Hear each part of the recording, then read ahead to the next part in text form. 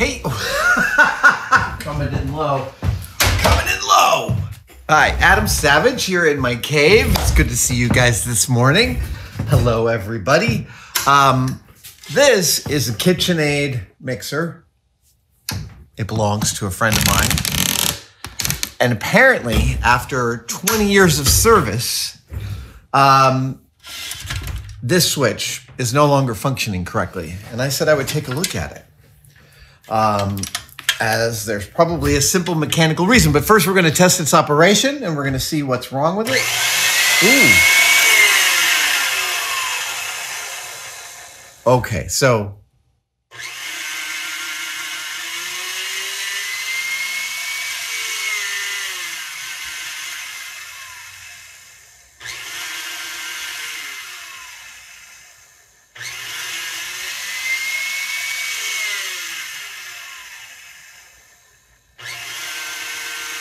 So apparently,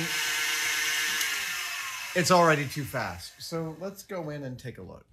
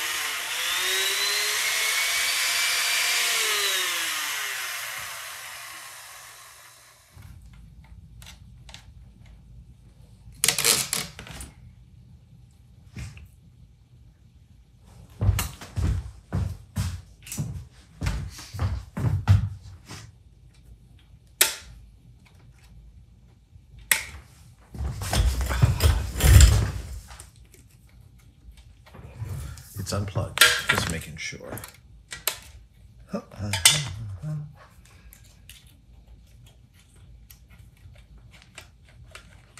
There you go.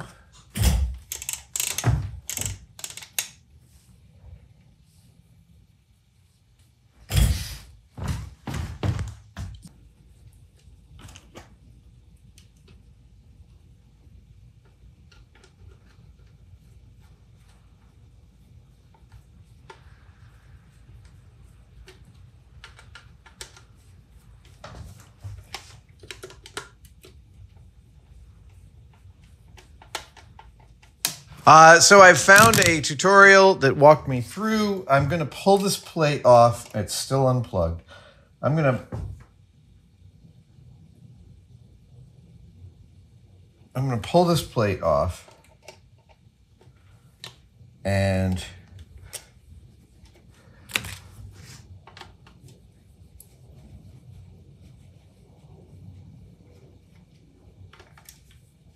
I'll reinstall it. But first I'm going to clean it. Right now, I think it's probably pretty filthy.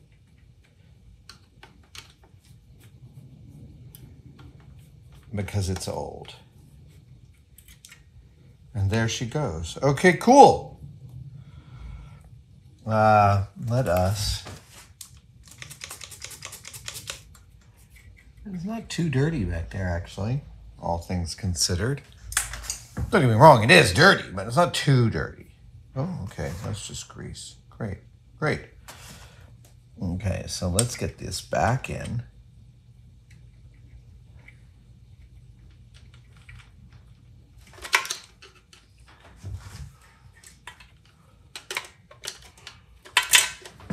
All right, we're to try plugging this in, see what kind of operation we get.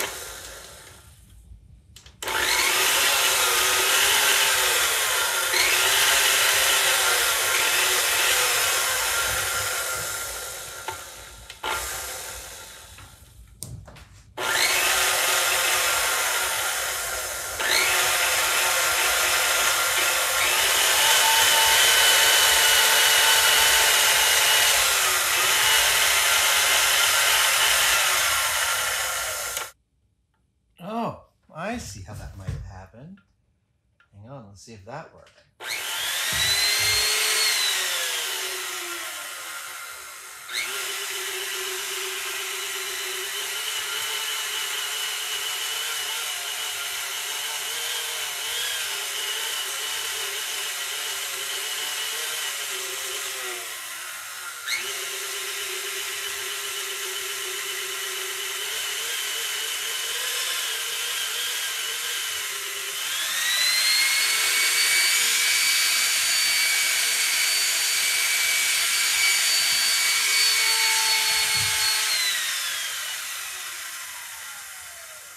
Yeah, so we're going to add a little bit of Loctite to this guy here.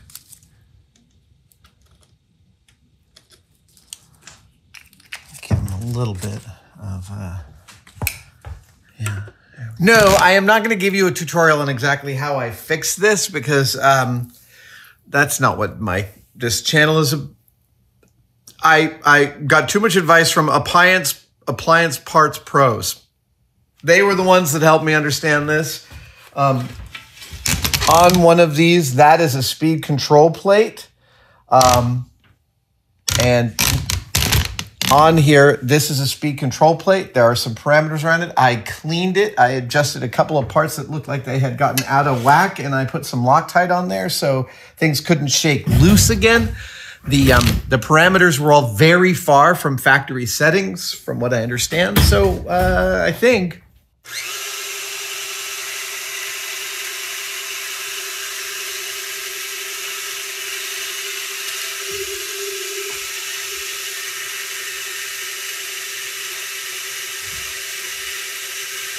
I want to just look up what the RPM is for stir.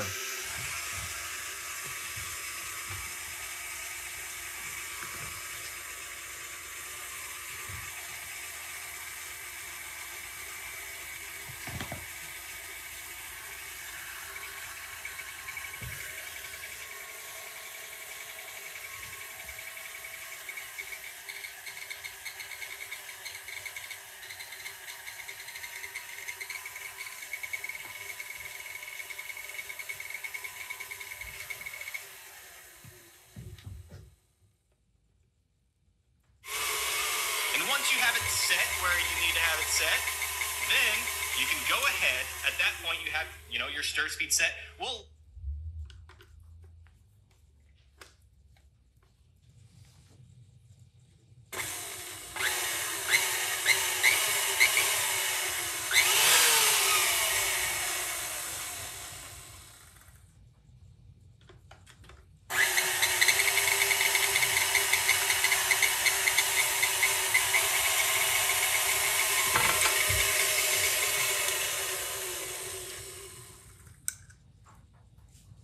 Okay. Um, there's a reason these are the ubiquitous uh, mixers in the world. Um, I have determined it is the speed control plate. It needs replacing. Uh, the slowest I can adjust this is still about double its normal speed, but it is a $20 part. I'm going to order it, and when you see me again, we'll, we'll, we, we will we, we will be replacing it. Yeah, that's what we will be doing. That's what we will be doing. Okay, we're back. Good morning. Saturday here. Hi. Uh, I was out of town this week, but while I was out of town, this beautiful part showed up. Um, and in addition, our home mixer, because we've got uh, one of these and one of its larger brothers. Um, one of our home mixer uh, mixer attachments had white enamel paint on it, and the paint had chipped off. And my wife wanted a new one, and was able to order one in a second for just twenty bucks. Yeah, we're about to replace this now. The issue, just to, I think, well, given the edit, who knows? The issue has been that uh, that's the slowest speed and that's about a hundred that's really like almost 180 rpm and it really should be 60 rpm um or maybe even 30 at any rate the slowest speed here is not nearly slow enough. And what i found out that is because this here i've unplugged it this here uh, the speed control plate has these brass leaves in it that wear out. So I'm about to replace it, and hopefully, once I do and follow the uh, requirements as to the depth of all of the mounting screws, they, they all have correct depths. Um, we should get operation that is much more satisfactory. Uh, again, my mixer is unplugged here, and we're going to uh, pull out that.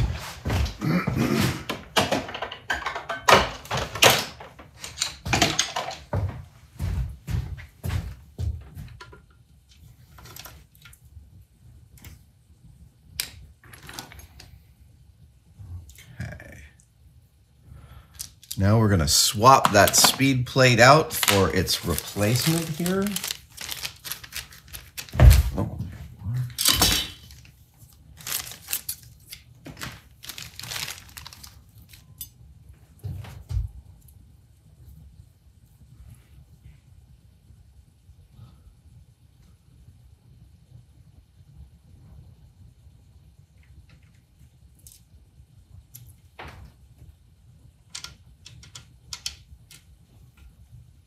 All right, it's all the same size. It's all the same connectors. Oh, right, I want to line these up.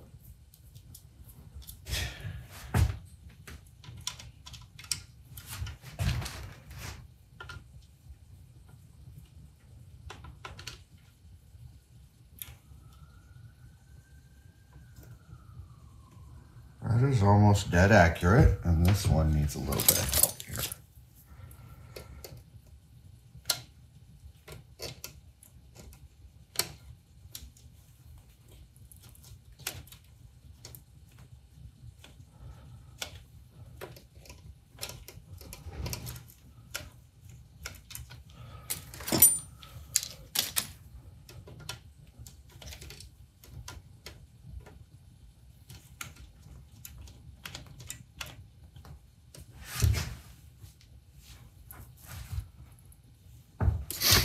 Okay, let us see if we get some better operation here.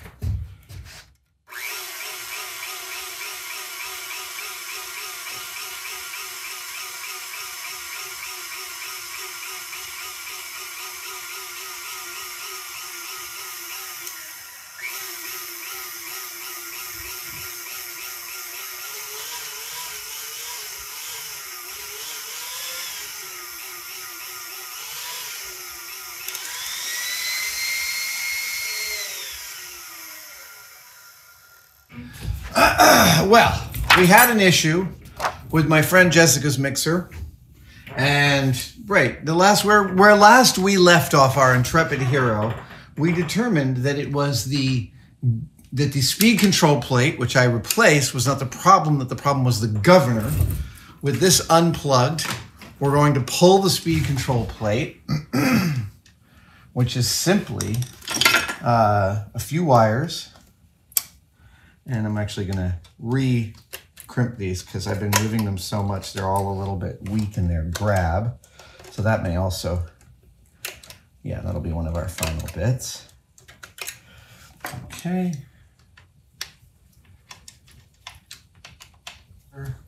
That's it. There we are.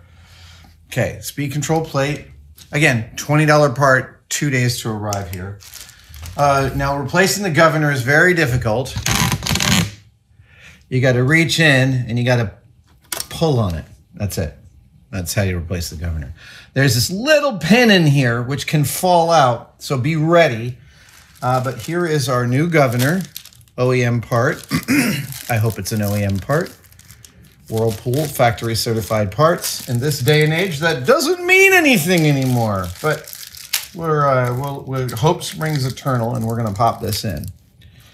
No discernible difference really between the old and the new, but that's to be reasonably expected. All right.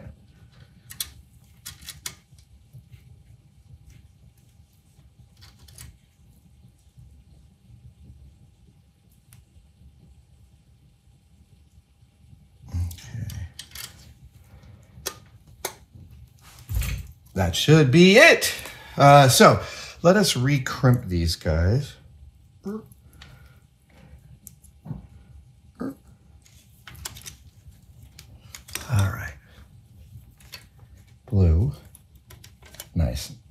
Black, white.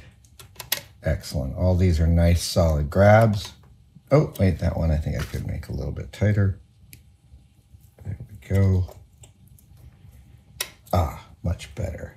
Actually, I can go even better on that. Okay. So now we're going to bring this all the way down. Uh, I believe the spec is one centimeter. I've got a centimeter here. That's a centimeter.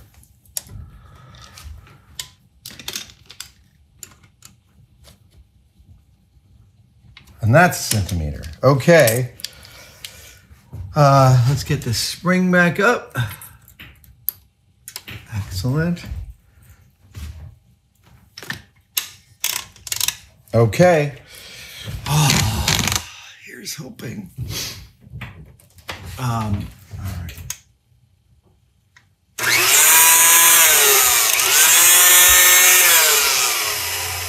Okay. Now I've got it on the lowest setting and we're gonna let these out until they start to connect.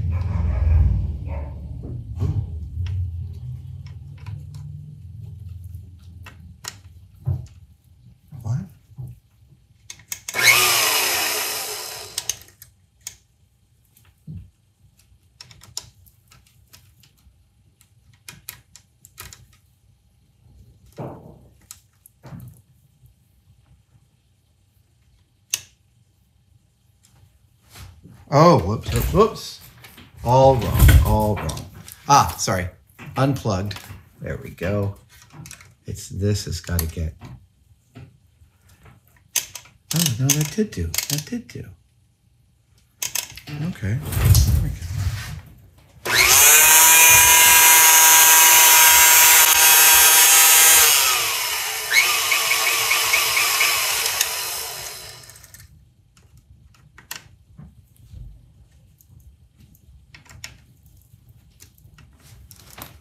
Something's Okay. Un-. Unplugged. Unplugged. Great. This is off center. Something's weird.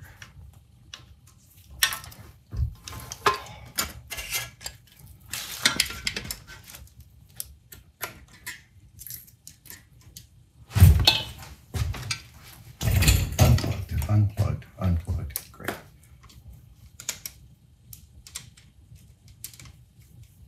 In my impatience, I pulled off the governor and I lost this little um, registration pin that goes at the end of the shaft. Um, so I have to turn a new one, and I'm going to turn it out of this tiny. Uh, what is this? Three millimeter stock, give or take. I was probably one eighth. Um, yeah, so I'm going to turn a. Uh, yep. I'm going to turn a new little registration pin. Bear with me. Okay.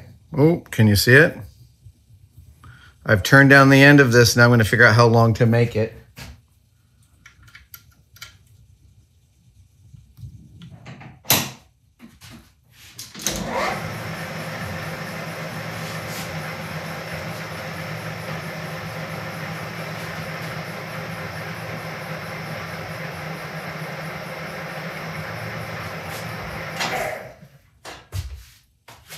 Here's the piece I made. That little top part should dovetail nicely with the notch in here. So here we go.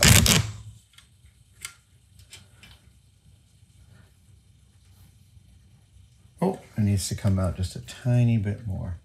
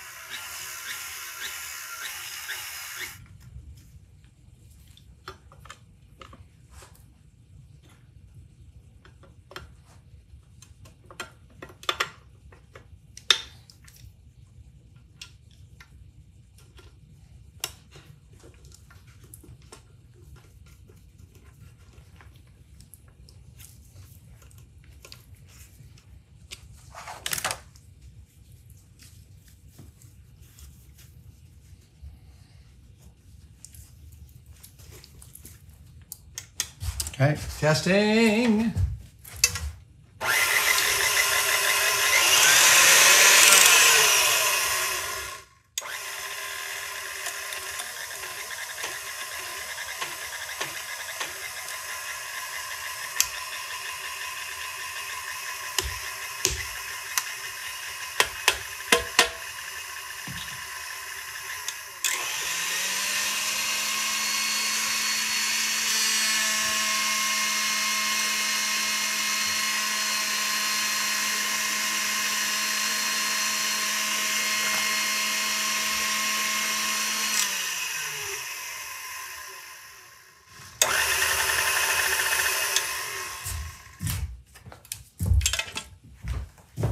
Ah, all right. Well, um, I, I'm really happy with how that went. It was a bit of a slog. Uh, there was definitely a learning curve, but the fact that KitchenAid has this is a 20 year old mixer. The fact that the parts that make this go are both less than $20 and easily replaceable the governor and the speed control plate. Um, really thrilling, frankly. Um, it's bringing back some of the faith I've lost in capitalism. Like you're keeping a product line consistent across decades and making the parts accessible. And all that really means is that more people are using these beautiful machines out in the world and baking and making delicious things for them and the people that they love. So, KitchenAid, thank you for keeping your product lines working out there in the field. Now, if you'll excuse me, I'm going to go deliver this to my friend. Thank you guys for joining me for this one day build or Adams Repair Shop. We can call it Adams Repair Shop. Just bring your appliances in and I'll get them going. Thank you guys. See you next time.